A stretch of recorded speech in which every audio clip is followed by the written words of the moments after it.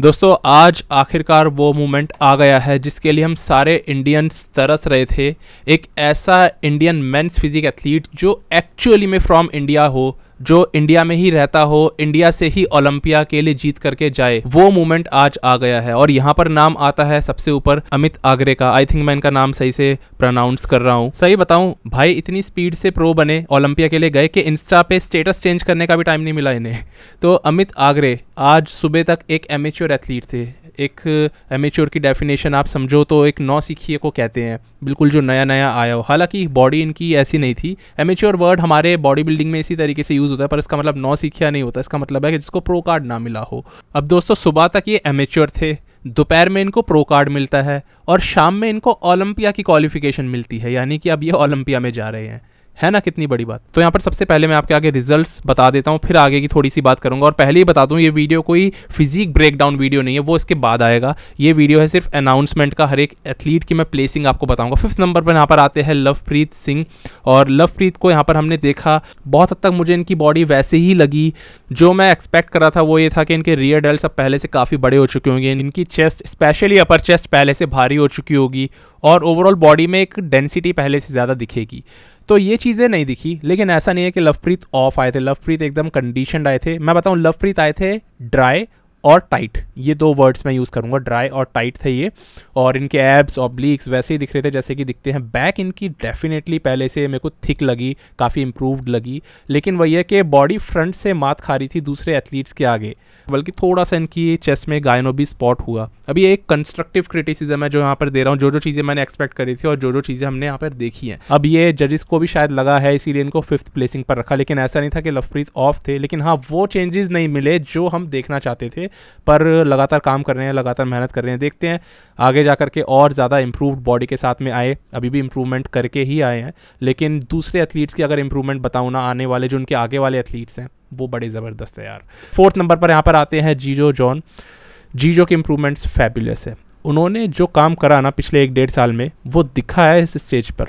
और यही मैटर करता है। चीज़ो मुझे लगे इस शो में बहुत ज़्यादा डेंसर पहले से ज़्यादा राउंडर एक थिक चेस्ट के साथ में और ज़्यादा अच्छी टैनिंग के साथ में। ज़्यादा अच्छी से मेरा मतलब है कि टैनिंग की थोड़ी सी डार्क साइड पे थी, लेकिन वो अच्छी लग रही थी। जीजो ने जो काम करा ना इतने सालों में, वो दिखा है आज इस स्टेज पे। जीजो की फिजिक में एक चेंज इतना ज़्यादा था कि वो नोटिस हो रहा था। ये है नोटिसेबल चेंज जो हमने जीजो के अंदर देखा। तो जीजो फोर्थ आए थर्ड पर आते हैं अनिक घोष अनिक घोष बहुत अच्छे लग रहे थे अपने अपडेट्स में और सही में स्टेज पर उससे भी ज़्यादा अच्छे लगे। फ्रंट बॉडी इनकी इतनी ज़्यादा ड्राई थ्री टाइट थी। मज़ा ही आ जाए देख करके। वो एप्स कैसे पॉप कर रहे हैं, देख रहे हो आप? तो मैं दोबारा बता दूँ फिजिक ब्रेक डाउन नहीं करना चाहता हूँ, मैं यहाँ पर रिजल्ट्स बता रहा हूँ आपको। सेकंड नंबर पर बात करूँ तो ये था सबसे बड़ा शौक एलेक्जेंडर टॉपलिन जिनके लिए सब लोग मानकर पहले से ही बैठे थे कि ये इस मेंस फिजिक लाइनअप को जीतेंगे इंडिया में किसी और को अपने आगे नहीं जीतने देंगे। मैं भी ये बात मानता था।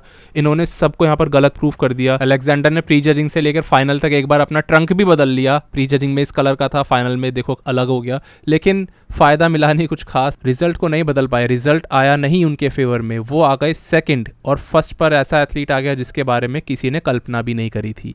अगेन यहाँ पर मैं वही बात कर रहा हूँ। यहाँ पर अमित आगरे की। भाई को अगर 100 मीटर दूर से देखो तो सर्जी कॉन्स्टेंस भी लगेंगे आपको।